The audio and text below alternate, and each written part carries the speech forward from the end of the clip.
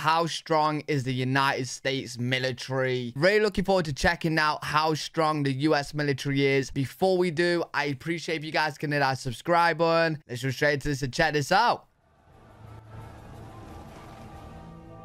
Why is the US military the strongest? Tell me. Great military powers have been appearing and disappearing since the beginning of history. True. Now is the time for the United States of America to be the leader in military might.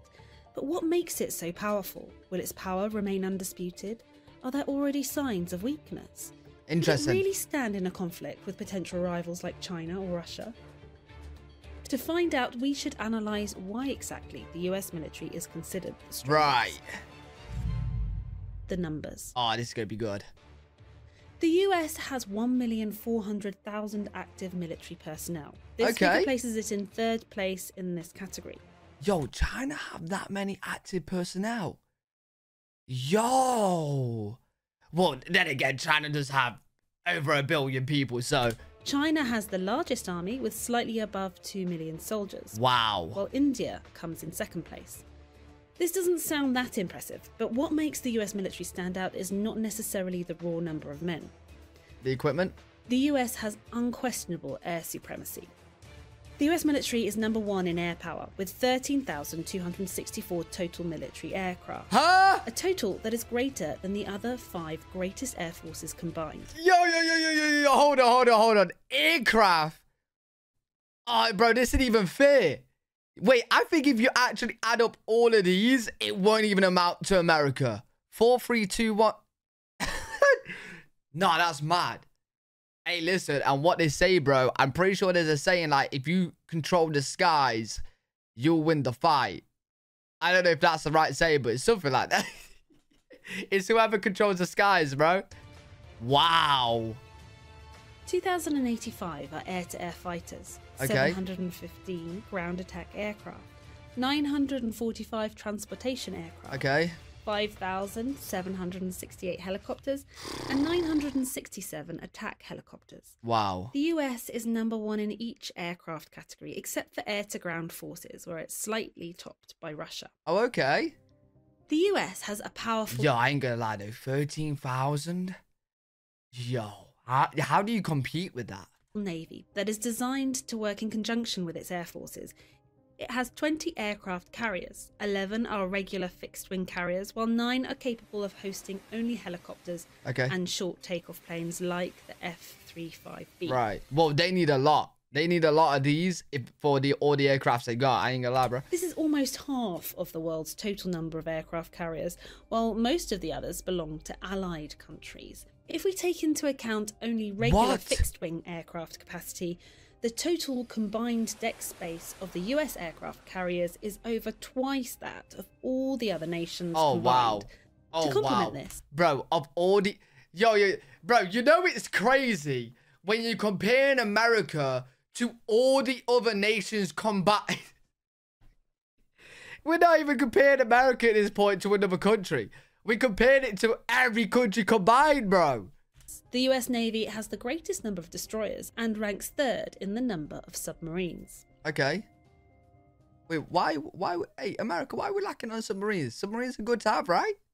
What's going on? Why, wait, why has North Korea got so many submarines? Huh?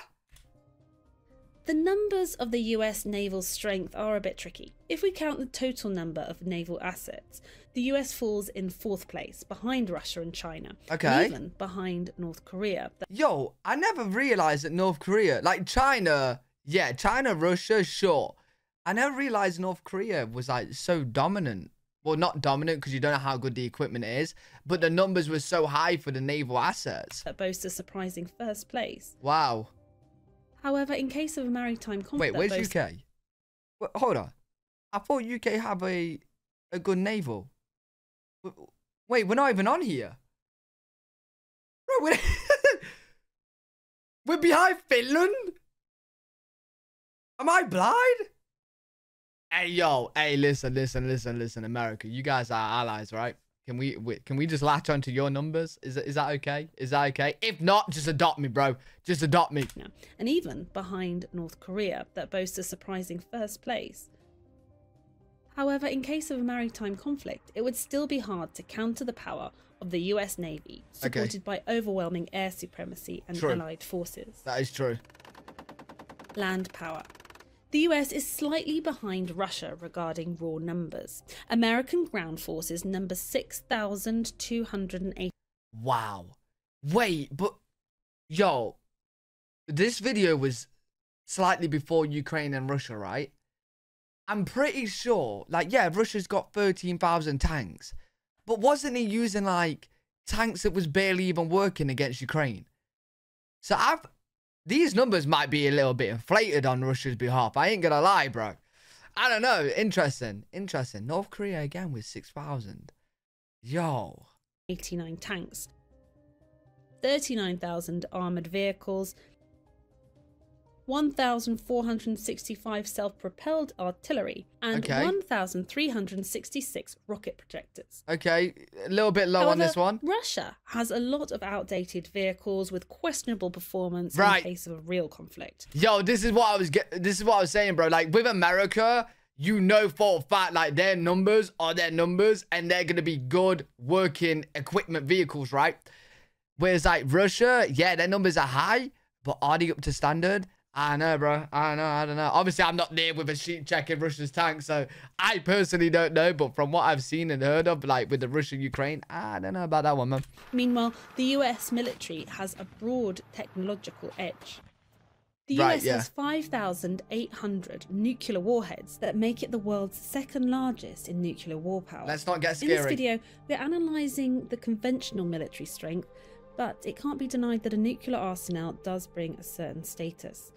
Even if things don't escalate to a full blown nuclear war, it Yo, yo, yo, this is actually scary to think about. I've been watching the new series Fallout. I don't know if any of you guys have seen it, but it's like after a nuclear event, what happens, right? Man, scary stuff, bro. I know everyone won't be turned into monsters like the show, but yo, scary stuff. it's intimidating to any country to be armoured with such nuclear power. Oh, yeah. The quality. Right, the this US is where Army America consists dominates. entirely of trained professionals, and many have real combat experience. Right. Since the beginning of this century, the US has been involved in military conflicts in Afghanistan, Iraq, Pakistan, Somalia, Libya, Uganda, Oh, wow. and Yemen. Oh, wow, okay. While other countries still rely on conscripts to fill the numbers, the US can field an army of well trained, experienced professionals. The equipment, the military assets, and the technology used in combat have excellent quality. Right. This is the defining reason why US casualties are usually fewer than those of their adversaries. The strong ability to project power Hey, with the numbers, the equipment, and how well trained they are, yeah, I, I can't, I can't see America losing their dominance power. I can't, I can't see that ever, bro. usually fewer than those of their adversaries. The strong ability to project power is another defining trait of the United States military. Size, technology, and experience are nothing if you can't reach the enemy. Right. Okay. Power projection is the ability of a state to deploy and sustain forces outside its territory. Only a few states are capable to overcome the difficulties that involve power projection, and the US excels at it. This Right. is made possible by several factors. The home base of the US is safe. The neighbouring countries are friendly. Potential enemies are far away. The large landmass Well, yeah. Hey, listen, the neighboring countries, America, you gonna want to be friendly, bro. You ain't, you ain't gonna want to be that close to America and on their bad side. Yeah. You, no way. No way. neighbouring countries are friendly. Potential enemies are far away. Right. A large landmass makes it a country that is hard to invade. True. It also has coastlines along two oceans and strategic islands that hold military bases. The US forces can reach far, fast, and deploy great numbers of forces supported by the enforcement of air and sea superiority, combined with excellent transportation capabilities. Even if it Do you know what is crazy? We're talking about like America reaching their enemies, right? Bro, we need to bring up the map because I've seen it before of military American military bases that's across the globe. Wow, bro. Wow.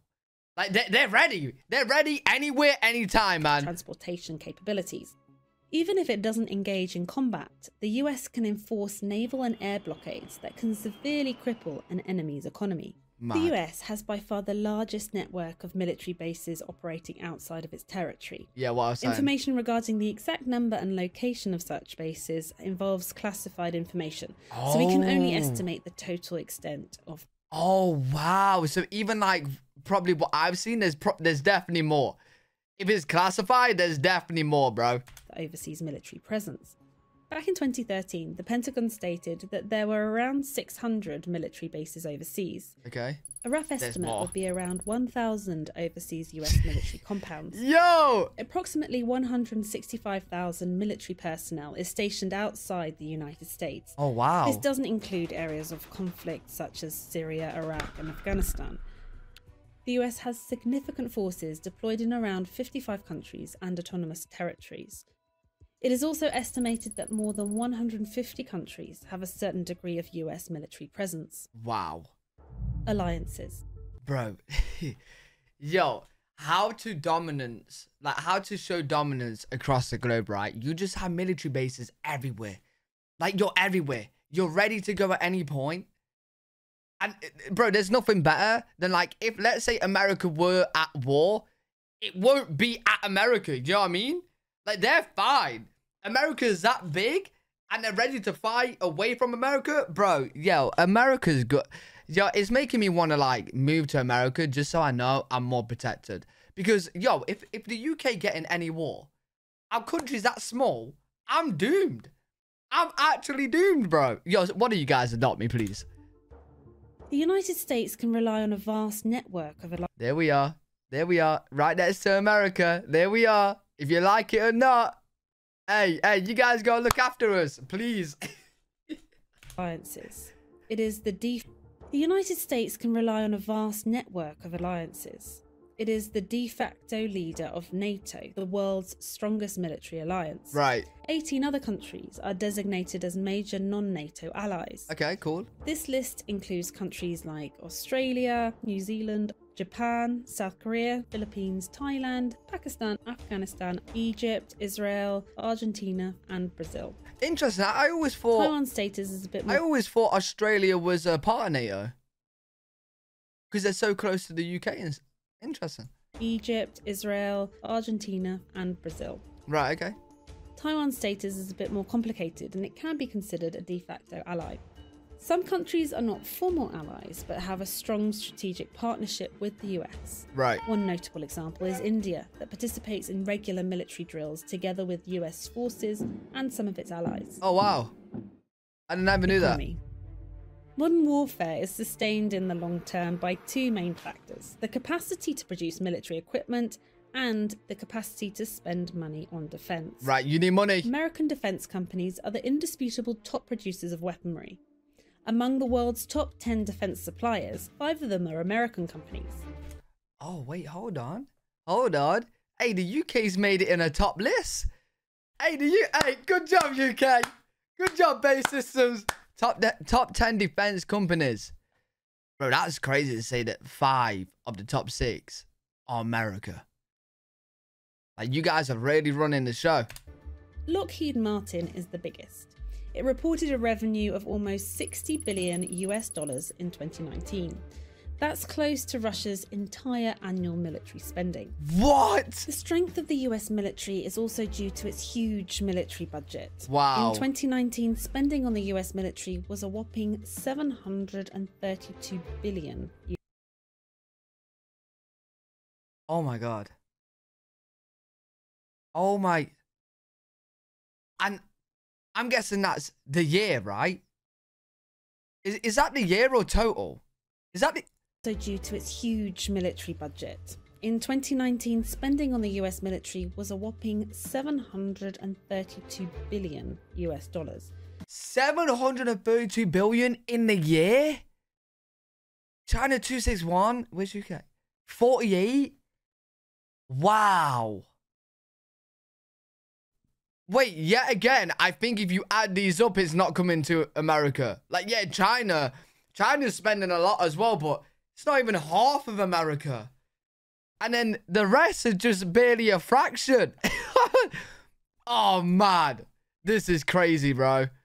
That's almost three times more than China, the world's second largest military spender, and is roughly one third of the entire world's defence budget. Wow. While Russia is commonly regarded as the second most powerful army in the world, its budget consists of only $65 billion. Arguably, there is an aspect of purchasing power. For example, Right. it's cheaper to pay a Russian or Chinese soldier. But the cost of high quality military equipment is still the same around the world.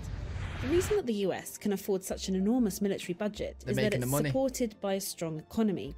America has been the world's largest economy since 1871. Its nominal GDP is currently 21.44 trillion US dollars. Yeah, like bro, like when you actually think about it, when you think about a a leading company, they're most likely gonna be in America.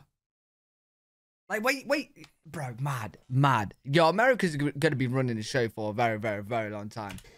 This is almost a quarter of the global economy, and it's backed with plenty of natural resources, advanced infrastructure, and technology. Besides the ability to sustain an enormous defence budget, the US often uses its economic strength as a weapon. Wait, hold on, that's knocked me back a little bit. I ain't gonna lie. America's economy is a quarter of the whole entire globe's economy. That's crazy, bro. Only 21.44 trillion US dollars.